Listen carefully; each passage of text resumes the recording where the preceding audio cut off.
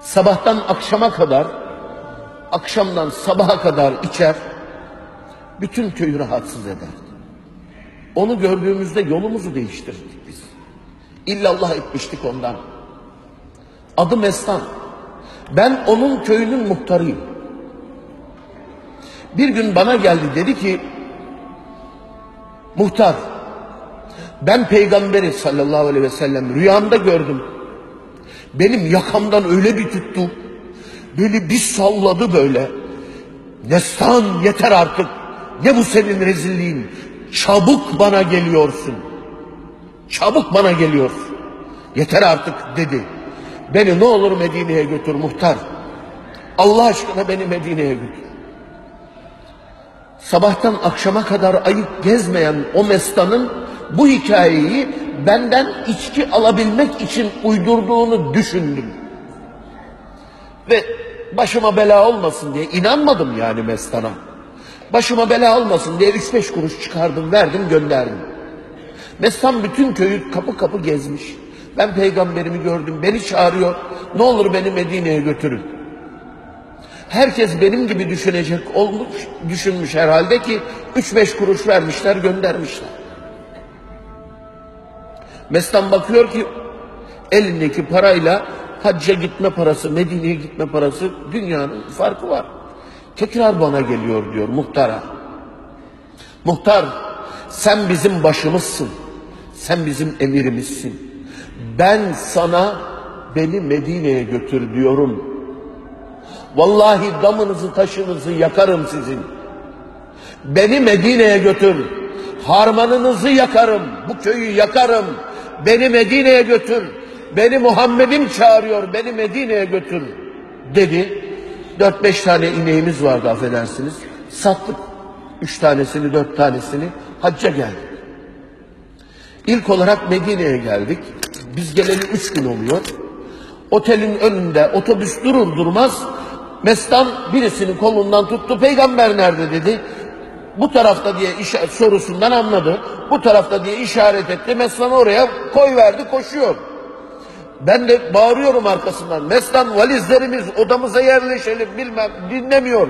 Ben de peşinden koşuyorum. Yer bilmiyoruz, yurt bilmiyoruz. Birbirimizi kaybederiz diye. Mestan Mescid-i Nebevi'yi çevreleyen duvarlardan içeriye girdi. Koy verdi ününü. Ya Resulallah ben geldim. Ben geldim. Ben bir yolunu buldum geldim ya Resulallah. Sen beni davet ettin geldim ya Resulallah diye koşuyor. Orada bağırtmazlar. Hemen polisler ikaz eder. Şşş, edep der. Hiç kimse müdahale etmiyor mesela. Haç zamanı bilen kardeşlerimiz orası çok kalabalık olur. Yeşil kubbenin altında cennet bahçesi diye tabir edilen minber ile mihrabın arasında namaz kılmak için 3 saat 4 saat beklersin. Ve sıra gelmez. O kadar kalabalık olur. Orayı surat teknesi gibi yardı ve Peygamber Efendimizin kabri şerifinin parmaklıklarına yanağını dayadı. Ya Resulallah ben geldim. Ben geldim. Sen beni bu kadar mı çok sevdin? Bu kadar mı çok sevdin beni? Beni davet ettin. Bu ne büyük bir şeref. Ben bütün günahlarıma tövbe ettim. Ama biliyor musun? Sen bana şefaat edecek misin? Onu çok merak ediyorum.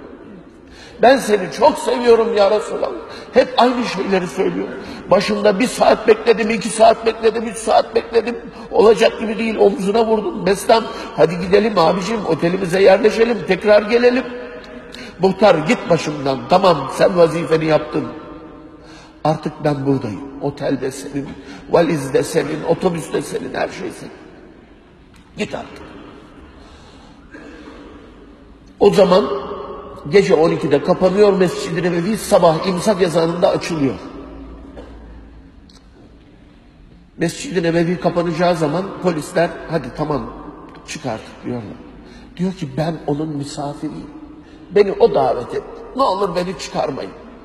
Ağlayışına, samimiyetine bakarak müsaade ediyorlar. Yeşil kubbenin altında sadece Mestan ve Allah Resulü. Şu şerefe bak. Beraber sabahlıyorlar. Destan hiçbir şey yiyip içmiyor. İkinci günde aynı. Yalvarıyor, yakarıyor, kalıyor. Üçüncü gün mutavva, polis amiri diyelim, emniyet müdürü diyelim, kaymakam diyelim ne derseniz deyin. Diyor ki bu adam artık renkmek solmuş. Sadece zemzem içiyor, namaz kılıyor. Bu adamı çıkartın dışarıya bir şeyler yesin içsin. Tekrar anlayış gösterin. Tekrar gelsin ama şimdi çıkartın. Bu ölecek diyor. Bu solmuş, rengi falan kaçmış. Çıkartın diyor, emrediyor. Polisler geliyor. Mesela hadi çık sen artık. Yemek ye sonra.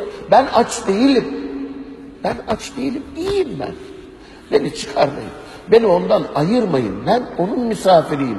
Beni kendisi davet etti. Tamam. Yemeği niye tekrar gel? Hayır beni çıkartmayın. E tabi emir aldıkları için karga tulumba tabiri şeklinde kollarından bacaklarından çıkartıyorlar.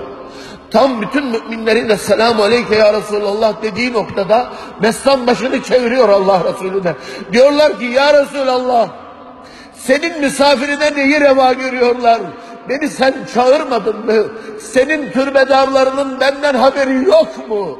Beni senden ayırıyorlar ya Resulallah derken polislerin elinde ruhunu teslim ediyor Mestan. Ondan sonraki gördüğümüz hadise mermerin üzerine uzatılışı ve hayata geri döndürülmeye çalışılır. Fıtrat olarak hiç kıskanç bir insan değilim. Bir insanın başka bir insanı kıskanmasını anlamda veremem. Çok ayıp gelir bana. Ama ben sana o kadar çok kıskandım ki. Dedim kendi kendime ya sen şu kadar senedir hocalık yapıyorsun. İki yaşında Kur'an okumaya başlamışsın. Sülalen hoca, ömrün hoca. Nasıl bir insansın ki Bosna'nın yaşı kadar olamadın. Allah Resulünden ayrılıyorum diye kalbin duracak kadar Allah Resulünü sevemedin. Tabi bırakmadım ondan sonra işte yıkanmasında gassallar bastılar tokadı bana çık dışarıya. Dedim öldürün beni vallahi sizi Allah'a şikayet edeceğim. Ben onun aşkına şahidim.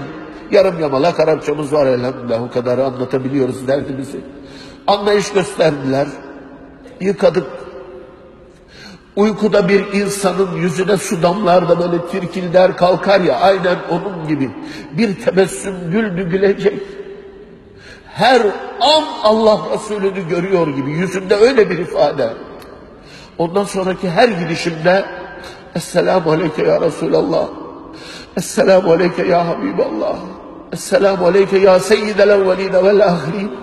Esselamu Aleyke ya Ebu Bekir. Esselamu Aleyke ya Ömer dedikten sonra aşkına şahit olduğum, imrendiğim, kıskandığım Bosna'nın ayyaşı sana da selam olsun diyerek ondan sonra Cenab-ı Allah kırkın üzerinde nasip etti. Her gidişinde Mestan'ı hiç unutmadım. Allah Mestan aşkını cümlemize nasip eylesin. Ezan-ı Muhammedi okundu ama Mestan'ın o aşkına ithafen biraz elimizde karalayabiliyoruz. Şöyle yazdım geriye dönüşte. İlahi de yaptık onu. Allah nasip ederse kandil akşamı okuruz. Seher vakti esen rüzgar beni Medine'ye götür. Yüreğimde bin yaram var beni Medine'ye götür. Kanadım ol kuş olayım, gözden akan yaş olayım, bir kenarda taş olayım, beni Medine'ye götür. Yeşil kubbeyi göreyim, türbene yüzüm süreyim, canımı orada vereyim, canımı orada vereyim, beni Medine'ye götür.